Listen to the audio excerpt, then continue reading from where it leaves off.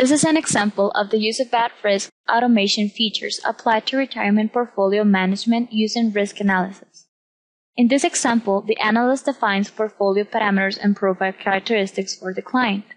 The model will assess the performance of the portfolio in future years as well as the withdrawal ranges after retirement. Once the analyst adds the information into the model, at-risk will run a simulation and present results. Through the use of a custom interface, the user inputs the profile characteristics of the individual whose portfolio is to be modeled. Among the main parameters in this example, we have current age, life expectancy, annual living expenses. With this information, a time series model will be created, where the savings and spending time periods will be modeled.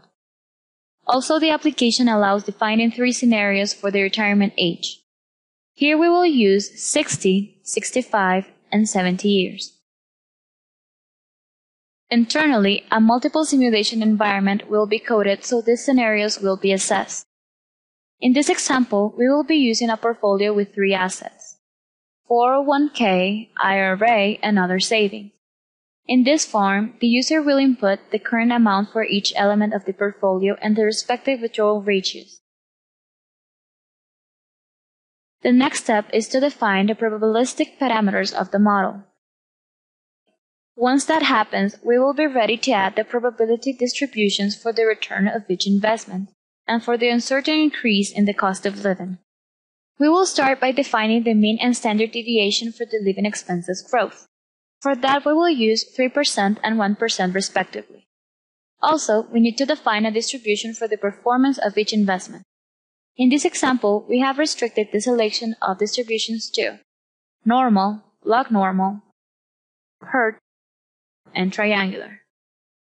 Depending on what distribution is picked, the form will show the respective parameters that are to be defined by the user. You can see that when these parameters are changed, a graphical interface is provided for better understanding of the variation of the investment return. The last step allows entering the historical correlation for the portfolio of investment.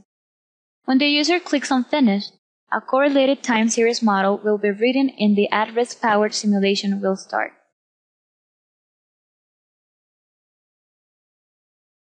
You can clearly observe three simulations with a thousand iterations each are run.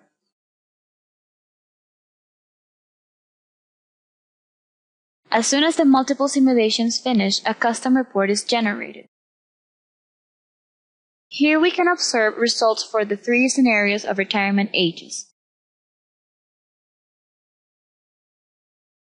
Creating and updating a model like this can take a few hours. However, with an automated procedure, this sophisticated model can be used in regular basis. Palisade can update or even construct a model that is in accordance with your requirements. Feel free to contact your sales representative for more information.